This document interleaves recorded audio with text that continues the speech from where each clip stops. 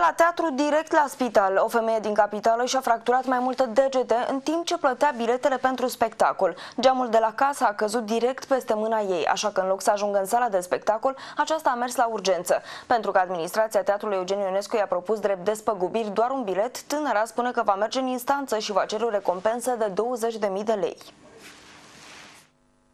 Ludmila împreună cu soțul ei au decis să le facă un cadou nașilor și i-au invitat la teatru. Ajunși acolo, în timp ce femeia achita biletele, geamul de la casa de bilete i-a căzut direct peste mână. Mi-a fracturat trei degete.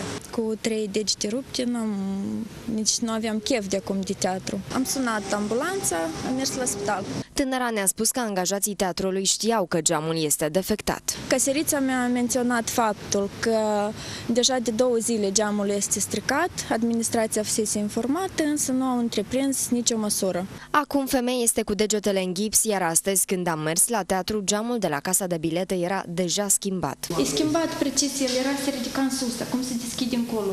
Cei de la administrație ne-au confirmat că un asemenea incident a avut loc. Noi am schimbat deja, am remediat uh, geamul. A fost un incident despre care eu uh, cunosc cu dumneiei și luăm o, o poziție în privința asta. Tânăra spune că prima dată administrația teatrului i-a propus drept recompensă un bilet. Peste două zile însă a vrut să-i ofere un abonament pentru un an la teatru, însă tânăra a refuzat.